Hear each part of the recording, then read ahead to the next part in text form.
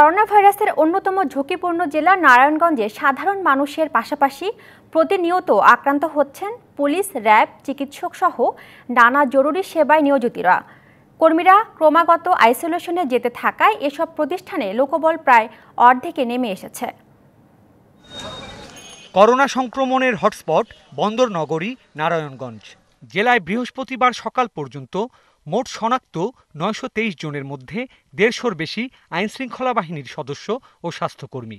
ডব্লিউএসএ guideline অনুযায়ী প্রত্যেকের ক্ষেত্রেই ব্যবস্থা নেওয়া হয়েছে। আইসোলেশন কনফার্ম করা হয়েছে। পুলিশের অনেক কয়েকজনকে ঢাকায় আমাদের যে রাজারবাগ এখানে পাঠানো হয়েছে আমাদের একজন অফিসার হাসপাতালে আছে। এইভাবে যার যার সেটে সেট করা হয়েছে।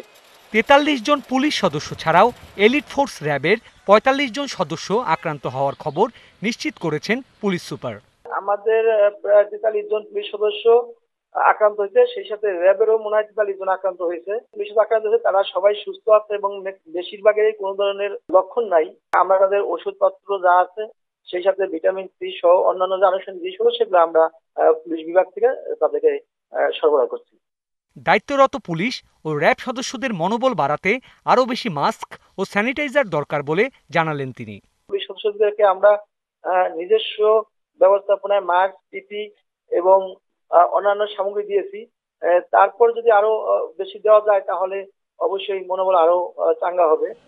এদিকে বারো জন চিকিৎসকের পাশাপাশি নার্স পরিচ্ছন্নতা কর্মী, অ্যাম্বুলেন্স ড্রাইভার সহ বহু স্বাস্থ্যকর্মীরা আক্রান্ত হয়ে আইসোলেশনে থাকায় বিপর্যস্ত হয়ে পড়েছে জেলার স্বাস্থ্যসেবা।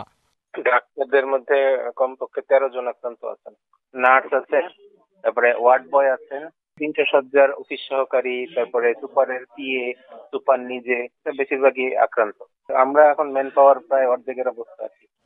আইন শৃঙ্খলা বাহিনীর সদস্য ও স্বাস্থ্যকর্মীরা ব্যাপক হারে করোনায় আক্রান্ত হওয়ায় লোকবল সংকটে ব্যাহত হচ্ছে নারায়ণগঞ্জের প্রশাসনিক কর্মকাণ্ড।